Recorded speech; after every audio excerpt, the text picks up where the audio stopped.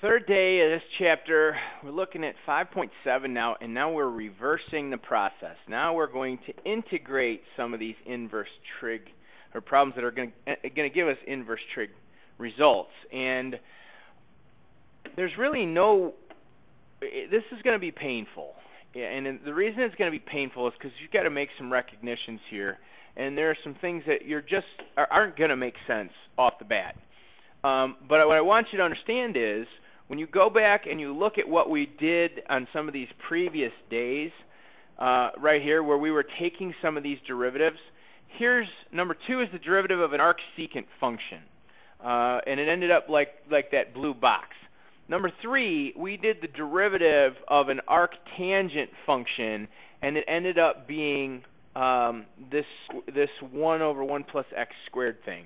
Um, in number uh, 5, we did the derivative of an arcsine function, and it ended up looking like what's inside that green box. So we're, we've already sort of proved how these things are going to work, but now what we're going to do is we're going to kind of put a, a pattern on it. There's three theorems that we're going to kind of use in this particular class. arc Arcsine, arctangent, and arcsecant. Those are going to be the three results that you're going to get or that we're going to specifically look for. And what you're going to have in each of these is you're going to have a format that you're going to look at. Now I want to look at problem number one before I get into these theorems, and I want to show you why you need problem, eh, why you need this. So when I look at problem number one, my first thought would be I should do a u substitution. u should be 4 minus x squared because I've got that quantity inside. du would be negative 2x dx, but I don't have this XDX anywhere in the problem. And since I don't have that XDX anywhere in the problem, I'm going to kind of be out of luck. We're going to need a last resort. And this is our pretty much our ultimate last resort here.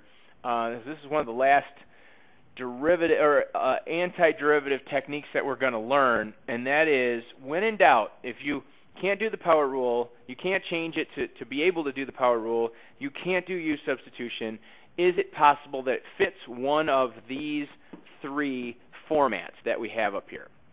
Now, some background on what we have. So this, this thing didn't work.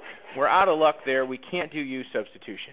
Since we can't do u substitution, here's some background on what we've got going up here. First off, u is a function of x. Okay, u is going to be some sort of a function that we're going to be dealing with. A is a constant. So in every one of these things that we have set up, you'll see an A and you'll see a U. And what I want to do is I want to point out some, some differences. First off, two of them have a radical in what's given to them. So when I look at problem number one, I know it's not the middle one because I, I see no radical in that middle one. So I'm looking at the square root of the quantity 4 minus x squared. Well, notice a, our constant, is being squared. A, our constant, being squared. A, our constant, being squared. U, our function of x, being squared. U, our function of x, being squared. U, our function of x, being squared. And oh, look, there's two of them over here in the secant one. Now, the way I kind of keep these straight is I look, I've got sine, tangent, and secant. What is the simplest trig function out of all of those? I would definitely say sine. And that is how this is going to kind of play out. So when I look at problem number one, I see a radical. So I'm looking at, if u substitution didn't work, I'm looking at either an arc sine or over on the far right, an arc secant. So I'm feeling like this time, oh wait, the constant is in front of the variable. Arc sine, the constant comes first. Arc secant, the, the function comes first. And the way I keep it straight is a lot of people, when they start looking at this thing, will see, oh, look, there's two U's, and they're right next to each other. That's the secant one. Well, the other one, the U's not in the front, the U's in the back. So we know that, the, that we're going to kind of reverse that a little bit. So here's what I know. I recognize this thing, and I look. I see a constant 4. Well, that 4 says that my A is the number 2, because 2 is being squared.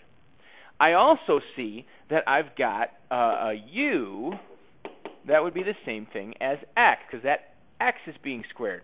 Well, now, this is kind of like a little mini substitution going on in this problem. We want to write this problem using all u's now and a's now instead of x's. So du would be the same thing as my dx. So rewrite your integral. What's this look like now? Well, what do I have? I know I've got a 1 on the top. That didn't change. I know I've got a radical on the bottom. That didn't change. But this time I've got 2 that's being squared. And I've got u that's being squared.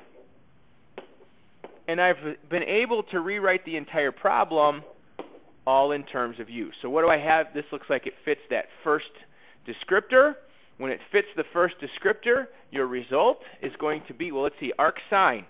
arcsine. Arcsine, arctangent, arcsecant. Arctangent and arcsecant both have a 1 over a in front of them. Arcsine doesn't. Again, sine's the simplest trig function. Doesn't have some of the extra things the others do. So this is going to be an arc arcsine of, looks like parentheses, u over a. Well, what's u? u is your x.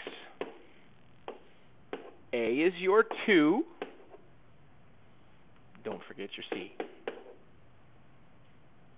Now, is that kind of foreign to you right now? Yeah, I, I would bet it's very foreign to you right now. But what we've got is we've got some patterns here, and as you do these a little bit better, or a little bit more, you're going to get used to them, and you're going to start to recognize them. Like when you look at problem number two, I would hope that you could recognize right now, I've got a variable outside the radical on the bottom. I've got a variable that comes first inside the radical. This looks like it fits the secant form. So I've kind of got in the back of my mind that I'm feeling like this is a secant. Now, can we represent everything? Yeah, I'm thinking I see an A here. I think that A is 8. That 8's being squared. I'm seeing a U. Well, that U, what's being squared? Well, a lot of people look on the outside of the radical and go, U is going to be X.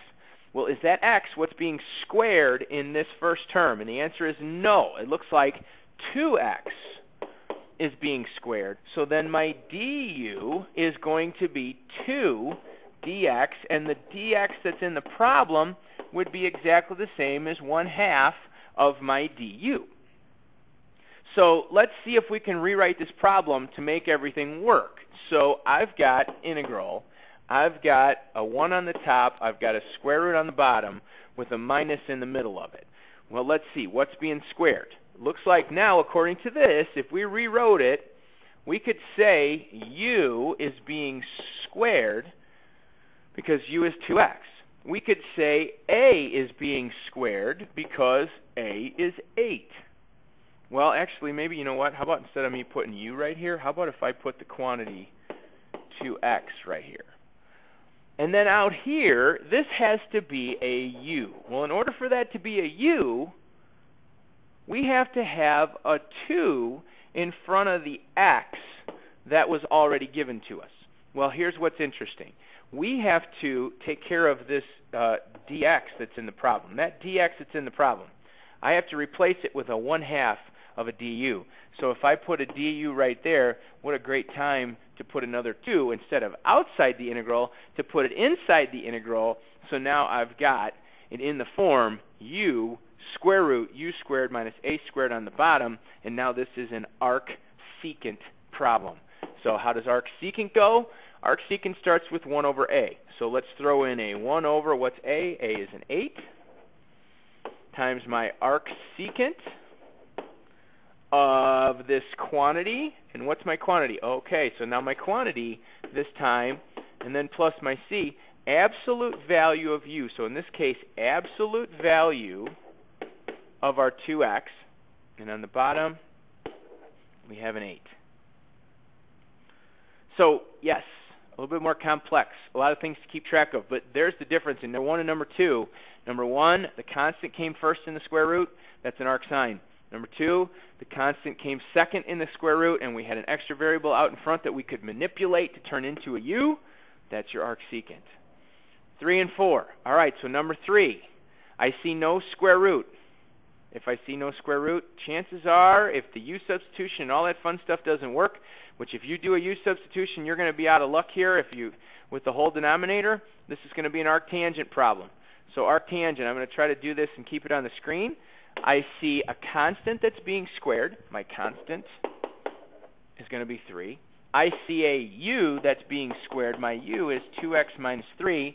So my du is going to be 2 dx's.